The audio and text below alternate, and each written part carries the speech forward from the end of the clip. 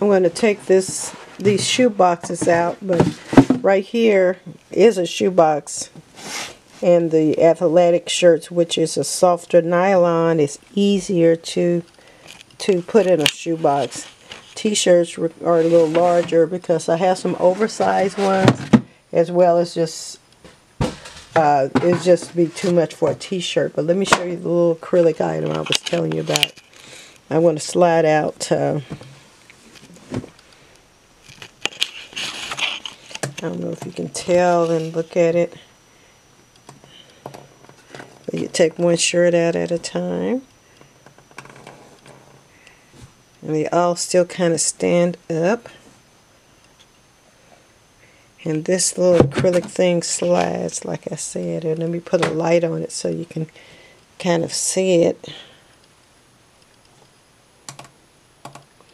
I'll totally take it out so you can see it. Oops. Put some light over it.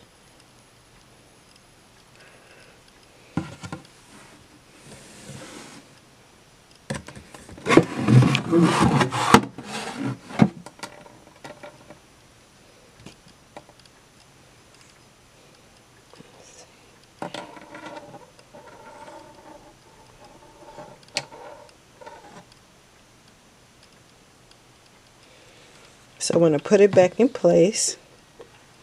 I'll put it sideways so you can see how it is. just sits here, sticking in the corner. And I just start stacking my shirts.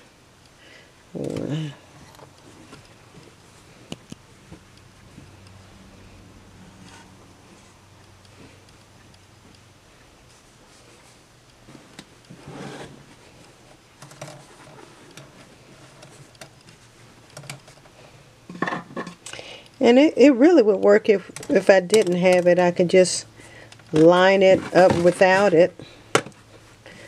Like so.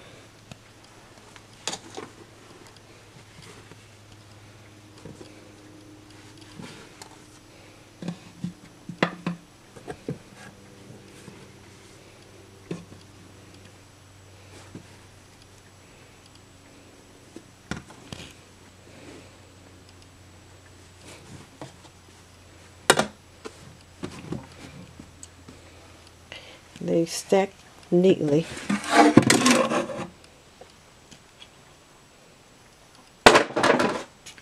If I need one out, I'll just take this out and the rest of them will stay in place.